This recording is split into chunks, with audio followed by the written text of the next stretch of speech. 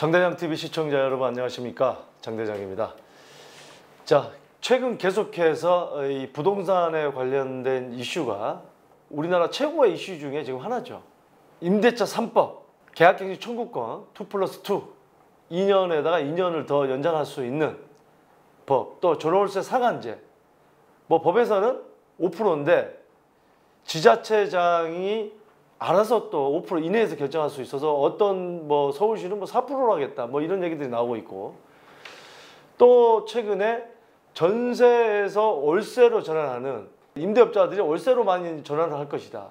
뭐 이렇게 하다 보니까 월세 전환율을 4%에서 2.5%로 나오는 바로 또 시행령도 입법 예고를 했습니다. 그래서 10월부터 시행될 것이다. 자, 이런 내용까지는 지금까지 예, 나왔던 내용인데 오늘 또 새로운 내용이 있습니다. 뭐 잠깐 언급은 됐었습니다만 입법 발의가 된 거는 이제 처음이죠. 바로 표준 임대료를 만들겠다. 쉽게 얘기하면 그 지역의 임대료 상한선을 아예 정해놓겠다. 임대료 가격을 아예 정부에서 정해주겠다. 이런 얘기거든요. 참 아, 많이 우려가 되는 법들입니다. 왜냐하면 너무 임대인 입장을 보지 않고 임차인 입장만 보는 게 아니냐. 이 표면적으로는 하지만 이게 과연 또 결과적으로 임차인을 위한 법이냐? 특히 경제나 부동산은 시장에 맡기지 않고 자꾸 정부가 개입하면 부작용이 나오는데 모든 게 수요 공급에 의해서 가격이 결정돼야 되는데 그걸 정부가 결정을 하겠다. 과연 정말 임차인을 위한 정책이 될 것이냐? 항상 부작용이 있어 왔고 있는데 이걸 갖다가 이 정부의 의지대로 그렇게 임차인을 위한 법이 될 수 있을까요? 그리고 너무 지금 한쪽만을 위한 정책을 내놓는다 이런 얘기들이 많이 있습니다. 그러다 보니까 불, 또 반대 입장에서는 불만이 커가는 거죠. 정치권에서 왜 자꾸 이렇게 편을 가느냐 지금 이런 얘기들이 나옵니다. 그리고 정작 임차인들 입장에서도 과연 그렇게 썩 좋아하는 정책이 아닌 걸로 좀 여론조사도 나오고 있는데 뉴스를 보면 도대체 그럼 누구를 위한 법인가? 자 어, 구체적으로 어, 신문 기사를 보고 또 법안 발의된 내용도 한번 보도록 하겠습니다. 자, 정부가 전월세 가격 통제 가시화, 직접 손보겠다는 발상이 문제. 이거죠. 바로 표준 임대료 정의 및 관련 발의 내용. 표준 임대료. 표준. 우리가 그 공시 가격도 표준 공시 지가 공시 가격, 땅값이나 뭐 주택 가격이나 이 공시 가격도 표준을 먼저 뽑고 그게 이제 뭐 매년 1월에서 3월 사이에 뽑고 3월에서 5월 사이에 발표를 하는 게 이제 개별 공시가라고 하는 거죠. 표준지 어떤 구역 섹터 안에서 대표할 수 있는 걸 하나를 표본을 먼저 그 기준을 가지고 옆에 개별 공시 가격을 매기는 건데 표준 임대료다. 임대료 자체를 정하는 거죠.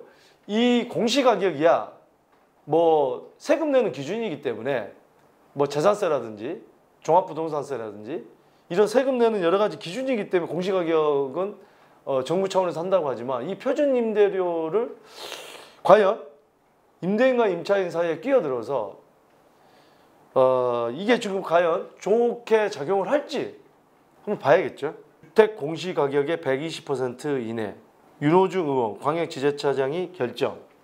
자 임대차 3법과 전월세 전환율 하향 조정에 이어 정부가 가격을 정하는 표준 임대료 도입 논의가 급물살을 타는 분위기다. 자, 여당은 공식적으로 표준 임대료와 관련된 논의는 아직 진행하지 않았다는 입장이다. 하지만 당정이 이미 도입 의사를 밝힌 상태이고 우원집법 형태로 법안이 발의되는 등 전월세 가격 통제가 가시화되는 모습이다. 지금 이미 법안이 발의가 되, 됐거든요. 예. 전문가들은 세부 적용 방식과 관계없이 정부가 시장에서 수요와 공급 무로 정해지는 임대료를 마음대로 손보겠다는 발상 자체가 문제가 있다는 지적이다. 아울러 표준 임대료까지 도입될 경우 전월세 시장의 혼란은 더 커질 수밖에 없다는 설명이다. 갑자기 여기 사진 보니까 결정되는데 이 지금 결혼식 웨딩인데 이제는 정부가 결혼도 정해주세요. 네, 배우자도 갑자기 광고가 떠가지고 어? 예 배우자도 정해줄 것 같아 이제는 표준 임대료 법안을 보면 골자는 해당 주택 공시가격의 120% 이내에서 결정하도록 하는 것이다. 해당 주택 가격 공시가격의 120%. 자, 그러면 예를 들어볼게요. 지금 어, 여기 보면은 이제 현재 실거래가 대비 공시가격의 비율은 현실화율은 올해 65%다. 올해 초는 그랬지만 가격이 조금 더 오르다 보니까 제가 이 보면은 다 그렇지는 않습니다만 55% 이내에 지금 공시 가격이 형성이 돼 있는데 120% 선이다 그러면 10억짜리라 그러면 100%면 5, 5억 5천이고 20%를 더하면 10억짜리 아파트에 5억 6천 선. 강남이나 이런 쪽은 전세가율이 많이 벌어졌고 공시가격이나 전세가율이나 비슷한 지역도 있겠습니다. 좀 많이 차이가 나는 데는. 예를 들어서 이게 정부의 입장에서는 점점 점점 현실화가 되고 있거든요. 현실화가 되고 있다는 거는 10억짜리 아파트가 거의 이제 앞으로 10억으로 갈 텐데 120%다. 그러면 12억 선까지 돌수 있다. 그럼 그거는 문제는 없어요. 만약에 근데 지방으로 갈수록 이게 이제 문제가 생깁니다. 우리가 지방 서울에 계신 분들이 지방을 왜 투자합니까? 지방에 보면 대부분 지방에 있는 분들이 보면 서울보다 수익률이 높다고요. 다가구라든지 여러 가지 그 월세 받는 거 보면 예를 들자면 강남이 뭐 4%에서 5%다.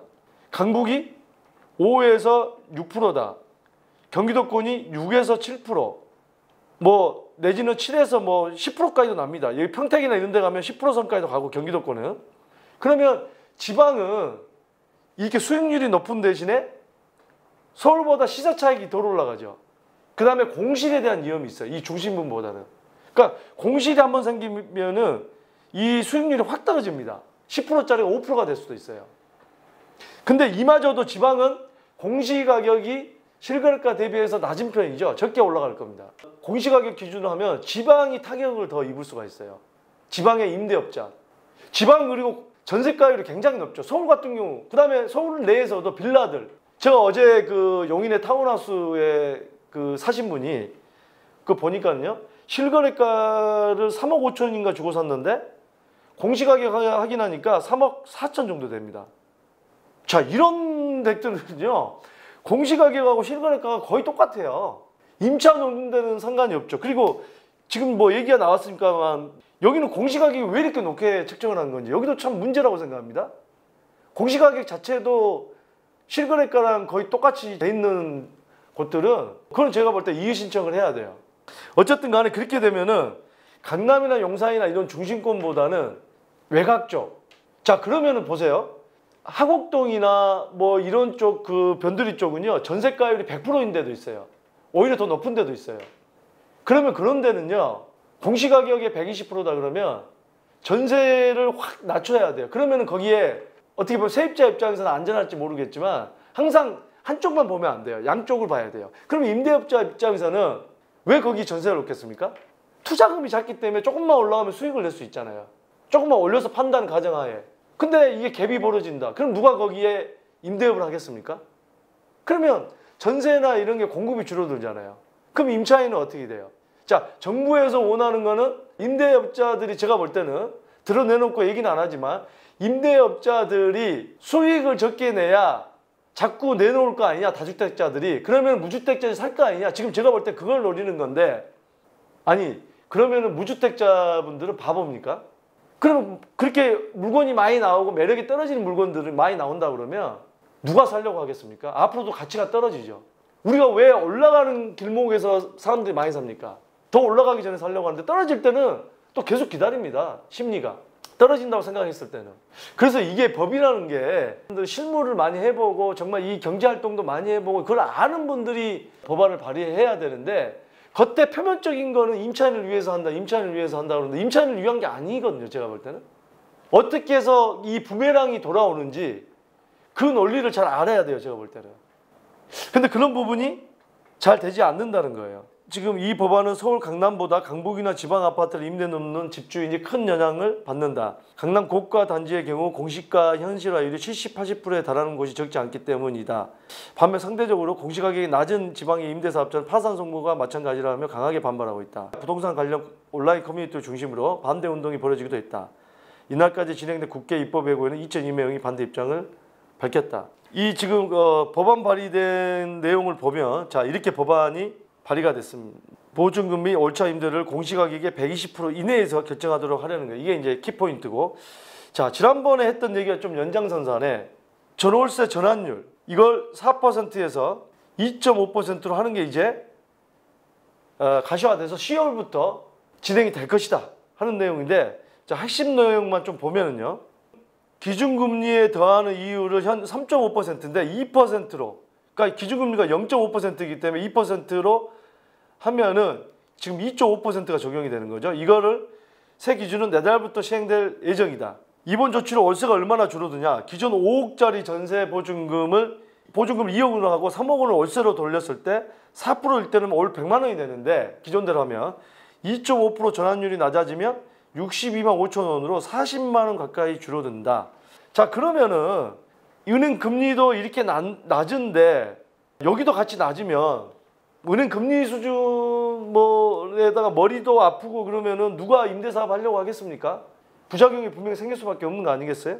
전월세 전환율 적용 대상은 새 제도가 시행되는 10월부터 기존 전세 계약을 월세로 반전 월세납 그러니까 10월부터 기존 전세 계약을 월세나 반전세로 바꾸는 경우에만 해당한다. 10월 이전에 계약은 소급 적용되지 않고 신규로 월세 반전세 계약을 맺는 경우에는 적용되지 않는다. 그러면 이 법도요. 어, 마찬가지입니다. 계약갱시 청구권의 2년에 2년 새 계약할 때는 한 번에 올릴 수가 있죠. 전월세 상한제 적용을 안 받고 새로운 임차인한테 이것도 마찬가지입니다. 새로 월세나 반전세 계약 맺으면 또 한 번에 올릴 수 있어요. 그러면 또 무슨 현상이 벌어지냐? 한 번에 올라간다는 거예요. 세입자들한테 그게 좋은 게 아닙니다. 자꾸 중간중간 사다리가 있어야 돼요. 조금 올리고 조금 올리고 해서 돈이 모여들고 거기에 약간 저축성으로 들어가서 나중에 목돈이 마련돼서 그게 바로 이제 내 집 마련하는 사다리가 되는 건데 한 번에 올라가면 그 감당을 못 하는 거죠. 자, 아, 오늘 어, 임대차와 관련된 또 새로운 내용을 말씀을 드렸습니다. 자, 여러분들의 생각은 어떠신지 에, 댓글 남겨주시고요. 또 계속되는 여러분들의 고민, 이메일과 문자 주시면 최선을 다해서 여러분들 고민 해결해 드리도록 노력하겠습니다. 감사합니다.